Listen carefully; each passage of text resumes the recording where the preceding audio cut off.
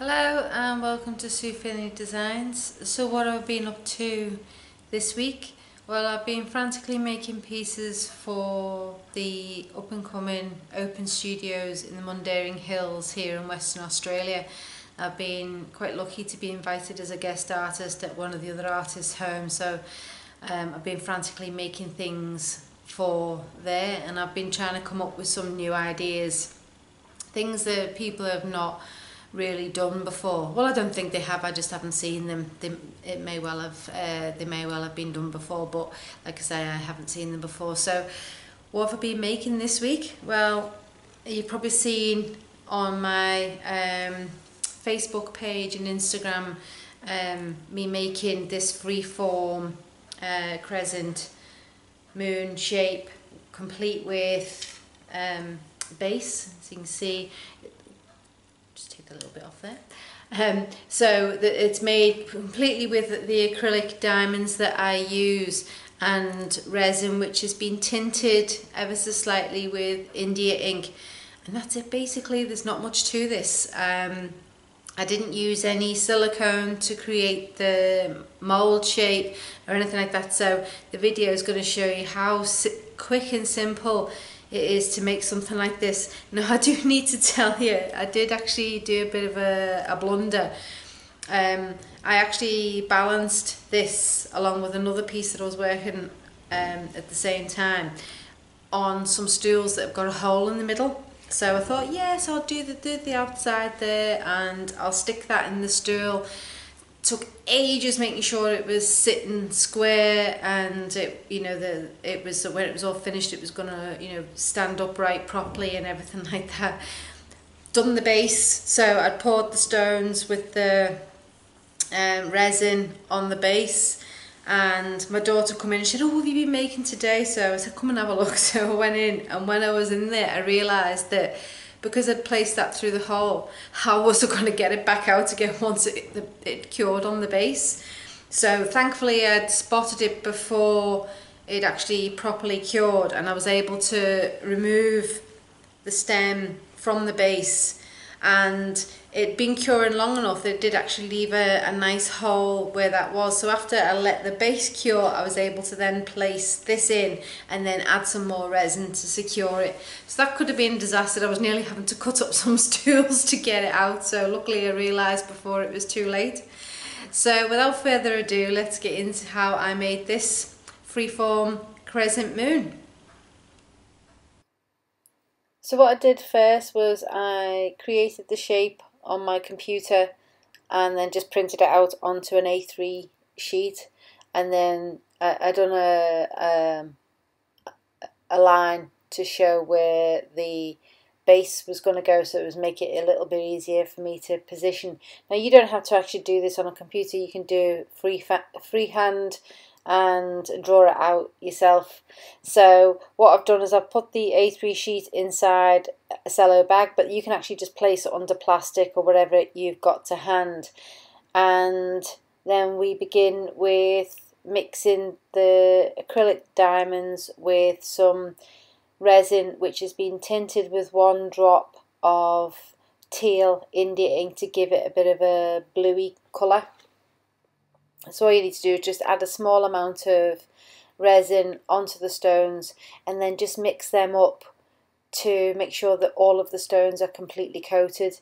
You don't want any stones not coated in resin so take your time and make sure that each of these stones are completely coated in the resin because as they um, form a bond it's what gives the piece its strength and stops it from falling apart when you pick it up and, and what have you.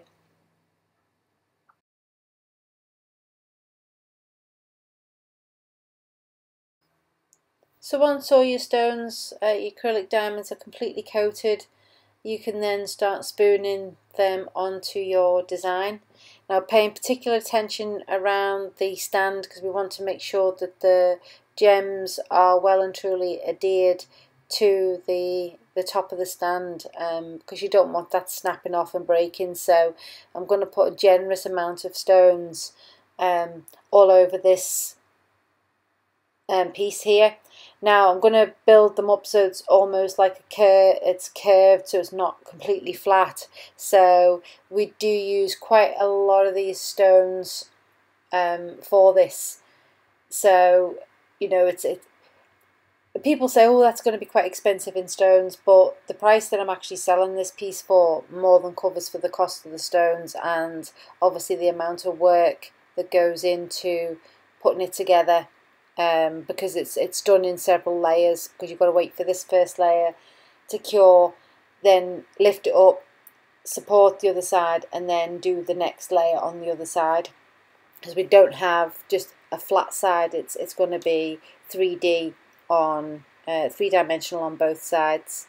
So we're just keeping um, using the lines as a guide. It doesn't have to be perfect um, because you've got the shape of the stones, which gives it um, a nice rough edge anyway. But it just gives you um, a guide on where you need to place these stones. And then once you've done this side, we just then leave this to cure overnight.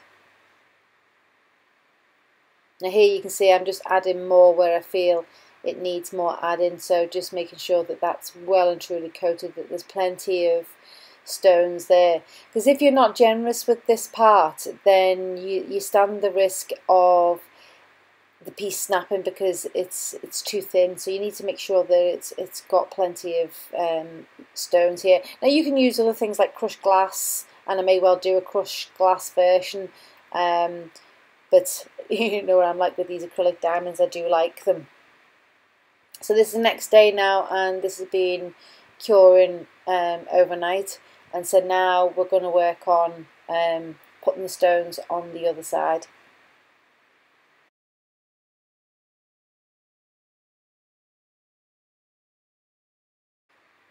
So I do need to find a way of balancing this so that um, we don't have any uh, runoff with the resin. So I've got some acrylic,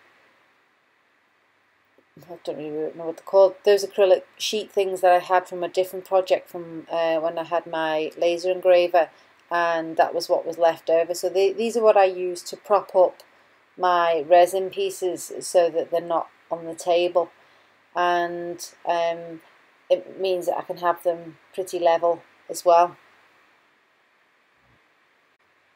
So just like the front, we're going to um, apply a generous helping of acrylic diamonds on this side as well.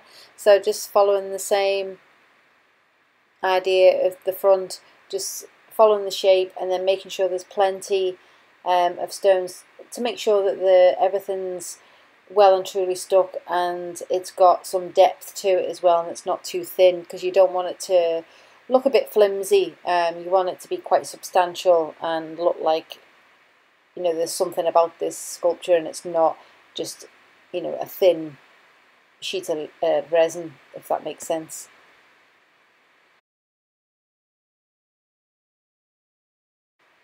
So here I want to show you my bright idea that I had for balancing this to do the base. So as you can see I'd stuck it through the hole in the stool and then propped up the trays with whatever I could find to get it to the right level. Um, I also made sure that the um, stand was perpendicular, square, wasn't leaning, and then I done the same thing I did with the top. I mixed the acrylic diamonds in some resin with a tint of teal India ink and then just started pouring that on the top like so.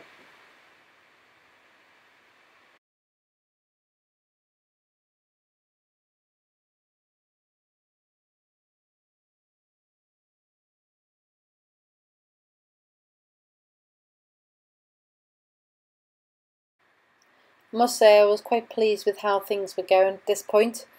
That was, of course, until I realised my um, big mistake but what I did do was um, I let it cure um, for quite some time. So it, the resin was still sticky when I realised my mistake, and I was able to pull the the stem out without disturbing the base because it had cured enough. And thankfully it left a nice hole for me to be able to leave it to cure overnight. And then the next day I was able to then just slot that back into the hole and then um, just resin that back in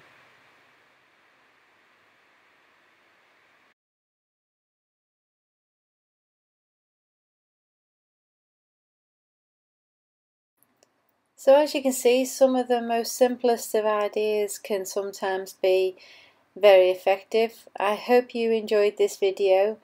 If you did, um, enjoy this video and like to see more uh, resin ideas, then please subscribe to my channel or better still, go and browse my other videos. I have plenty of simple ideas to keep you inspired. So until next time, bye for now.